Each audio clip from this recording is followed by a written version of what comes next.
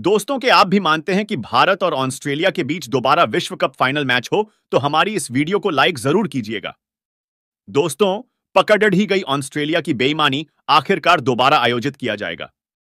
World cup 2023 का final मुकाबला, जिसकी तारीख कभी कर दिया गया है, ऐलान ऑस्ट्रेलिया के प्रधानमंत्री और हमारे प्यारे मोदी जी ने मिलकर आईसीसी से बातचीत कर दोबारा फाइनल मैच करने की खुशखबरी करोड़ों हिंदुस्तानियों को सुनाई है। तो आखिर कब और कहाँ खेला जाएगा दोबारा? विश्व कप का फाइनल मैच कितने बजे शुरू होगा? महामुकाबला कैसे इतिहास में पहली बार हो रहा है?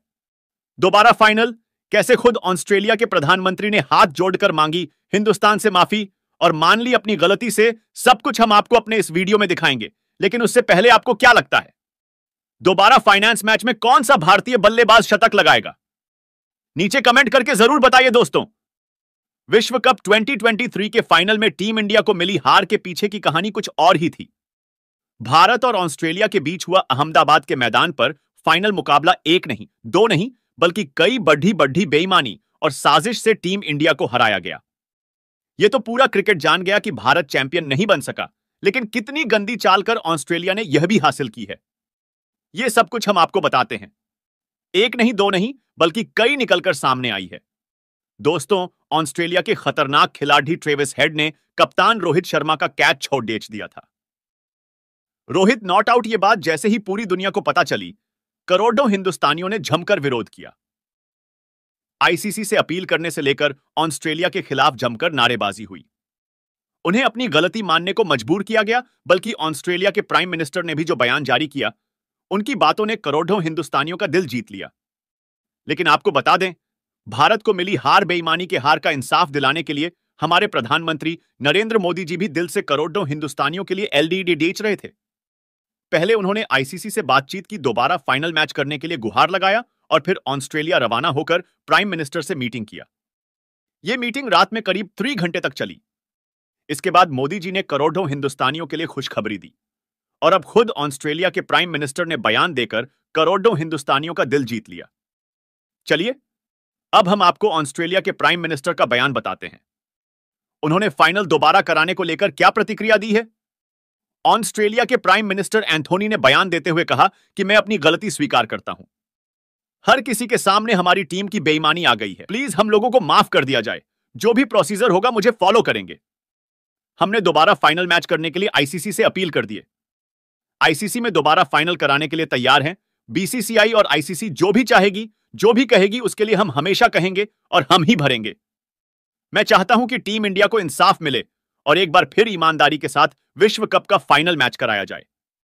इतना ही नहीं, आगे भी उन्होंने कहा कि मैं अपनी सभी खिलाड़ियों की तरफ़ से करोड़ों हिंदुस्तानियों से माफ़ी माँगता हूँ। आप सभी लोग दिल से माफ़ कर दीजिए। हमारी टीम से बहुत बड़ी गलती हो गई है। यह मैच देखकर यही लग रहा था कि भारत इस बार विश्व कप का प्रबल दावेदार है।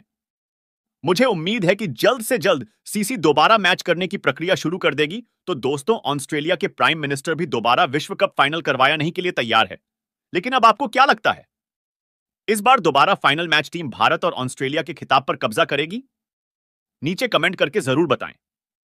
इसी दरमियान ग्लेन मैक्सवेल भी हार के बाद रिंकू सिंह की तारीफ़ करने के लिए माइक पकड़े डीएच लेते हैं और उनके लिए कुछ अनमोल शब्द कह डाले। चलिए, अब हम आपको बताते हैं हार के बाद भी मैक्सवेल ने कैसे लौटाया? रिंकू सिंह पर अपना प्यार। मैक्सवेल ने बयान देते हुए कहा कि रिंकू सिंह भारत के लिए उभरता हुआ नया खतरनाक खिलाड़ी है। सभी टीमों को अब इस बल्लेबाज से बचकर रहना होगा। इस खिलाड़ी में अंतिम गेंद पर छक्का लगाने की क्षमता है। यह बल्लेबाज लंबे लंबे छक्के लगाकर अपनी टीम को जीत दिला सकता है। इसके अंदर ऐसा कारनामा करने की ललक नज़र आती है।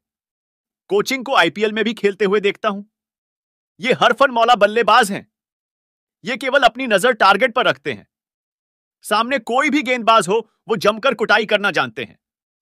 केवल इतना ही नहीं, मैक्सवेल ने आगे बयान देते हुए कहा कि भारतीय टीम को दुनिया का सबसे खतरनाक खिलाड़ी मिल गया है, जो बर्डे ही आसानी से अपनी टीम को जीत दिला सकता है। मेरी इनको सिंह जैसा बल्लेबाज विश्व में मैंने नहीं देखा है। उनकी बल्लेबाजी का मैं बहुत बढ़ा दीवाना हो गया हूँ। इन्होंने आईपीएल में लंबे लंबे छक्के लगाकर बहुत लोगों का दिल जीता है तो देखा आपने किस तरह से? मैक्सवेल भी रिंकू सिंह की बल्लेबाजी के दीवाने बन गए। लेकिन अब आपको क्या लगता है कि रिंकू सिंह, जायसवाल और ईशान किशन में कौन है दुनिया का सबसे खतरनाक बल्लेबाज? इस बात का जवाब नीचे हमें कमेंट सेक्शन में ज़रूर दीजिए ऐसे में ऑस्ट्रेलिया की हार के बाद ऑस्ट्रेलिया के दिग्गजों का भड्डकाऊ बयान सामने आया, जिसमें ब्रेटली ने बयान देते हुए कहा कि भारतीय टीम के खिलाफ खेले गए मैच में हमारी टीम की तरफ़ से सभी खिलाड़ियों ने जीत दर्ज करने का पूरा प्रयास किया, लेकिन इस मैच में हमारी टीम जीत दर्ज करने में नाकामयाब रही। इस मैच में हमारी टीम की तरफ़ से सभी खिलाड़ियों ने बेहतरीन प्रदर्शन करने का पूरा प्रयास किया। लेकिन जानबूझकर भारतीय टीम मैनेजमेंट में ऐसी पिच बनाकर दी है कि जिस पर हमारे गेंदबाजों का बेहतर प्रदर्शन देखने को नहीं मिला। इसके अलावा उन्होंने आगे बयान देते हुए कहा कि इस मैच के अंदर हमारी टीम की तरफ़ से कोई भी खिलाड़ी ऐसा नहीं था जिसने शानदार प्रदर्शन किया हो। लेकिन इस मैच में अगर हमको हार मिली है तो उसके पीछे भारतीय टीम मैनेजमेंट की सबसे खराब रणनीति रही है। तो वहीं पे रिकी पोंटिंग ने बयान देते हुए कहा कि भारतीय टीम को ऑस्ट्रेलिया के खिलाफ शानदार जीत मिली है, जिसके लिए भारतीय टीम को हार्दिक शुभकामनाएँ। लेकिन इस मैच में भारतीय टीम की जीत के साथ ही ज़्यादा खुश न हो। भारतीय टीम, क्योंकि भारतीय टीम की तरफ़ से इस मैच में बल्लेबाजों का बेहतर प्रदर्शन तो देखने को मिला था। ना ही गेंदबाजों का प्रदर्शन अच्छा था और ना ही फील्डिंग अच्छी थी तो शायद भारत इस मैच को बढ़े अंतर से जीत जाता। अगर यह डिपार्टमेंट में भारत अच्छा करता तो? इसके अलावा उन्होंने आगे बयान देते हुए कहा कि इस मैच में हमारी टीम के बल्लेबाजों ने भी बेहतरीन बल्लेबाजी की, लेकिन ऑस्ट्रेलिया की टीम के गेंदबाज बेहतर प्रदर्शन नहीं कर पाए।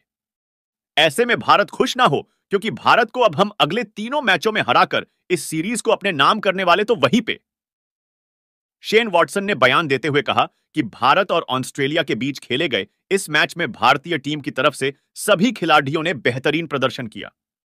भारतीय टीम के जीत के बाद काफ़ी खुश दिखाई दे रही है। टीम लेकिन भारत जीत से ज़्यादा खुश ना हो, क्योंकि इस मैच के अंदर भारतीय टीम का काफ़ी ज़्यादा बेहतरीन प्रदर्शन देखने को नहीं मिला है बल्कि उनका थोड़ा सा बेहतरीन प्रदर्शन देखने को मिला। इसके अलावा उन्होंने आगे बयान देते हुए कहा कि इस मैच में भारतीय टीम की तरफ़ से बल्लेबाजों और गेंदबाजों का बेहतर प्रदर्शन देखने को मिला हो या नहीं। लेकिन अब हम आने वाले तीन मैचों में बेहतर प्रदर्शन करेंगे और जीत दर्ज करने के साथ साथ सीरीज़ को अपने नाम करेंगे।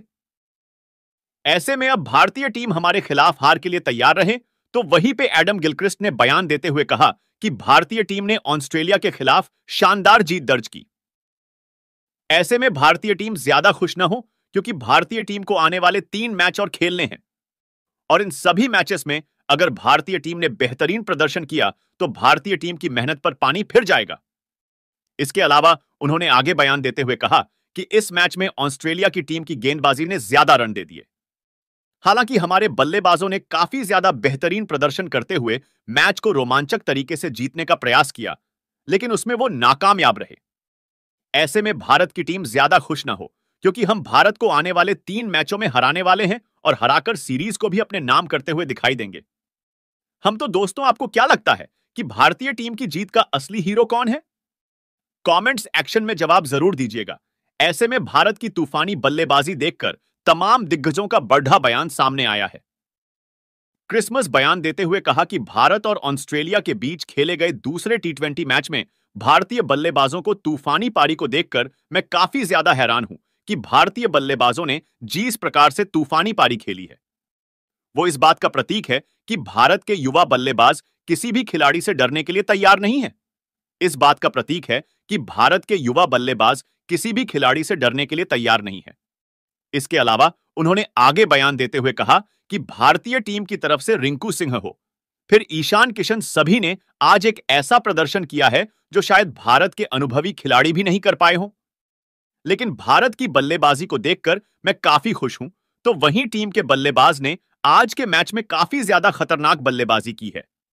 तो वही ब्रांडो में कुल ने बयान देते हुए कहा कि भारतीय टीम की तरफ़ से सभी बल्लेबाजों ने तूफानी पारी खेलने के साथ बता दिया है कि वह भारत की नई जनरेशन है और इनको बल्लेबाजी करने में बिल्कुल भी दिक्कत का सामना नहीं करना पड़ता है।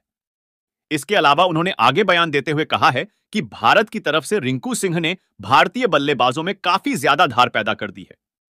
ऐसे भारतीय टीम की तूफानी पारी को देखकर लग रहा है कि भारत को इस बार के टी ट्वेंटी वर्ल्ड कप को जितने से कोई रोक नहीं पाएगा। की पॉइंटन ने बयान देते हुए कहा कि भारतीय टीम के युवा बल्लेबाजों ने ऑस्ट्रेलिया की टीम की बुरी हालत अपनी तूफानी पारी के चलते कर दी है जिसको देखकर लग रहा है कि भारत इस तरीके से आने वाले समय में बेहतर प्रदर्शन करेगा और इस शब्द का को भी अपने नाम कर लेगा। तो इसके अलावा उन्होंने आगे बयान देते हुए कहा कि भारत की तरफ़ से इस मैच में कोई भी बल्लेबाज ऐसा नहीं था जिसने बेहतरीन बल्लेबाजी ना की हो। सभी ने अपने तूफानी प्रदर्शन के चलते दिखाएँ कि कैसे आपको टी ट्वेंटी फॉर्मेट खेलना चाहिए और विरोधी टीम को काफ़ी ज़्यादा परेशान करते हुए घुटना टेकने के लिए मजबूर करना चाहिए। वहीं महेंद्र सिंह धोनी ने बयान देते हुए कहा कि भारतीय टीम की तरफ़ से सभी बल्लेबाजों की तूफानी बैटिंग देखने को मिली है। भारतीय टीम की तरफ़ से कोई भी खिलाड़ी ऐसा नहीं था जिसने बेहतरीन पारी ना खेली हो। भारतीय टीम की तरफ़ से सभी बल्लेबाजों ने शानदार प्रदर्शन किया है।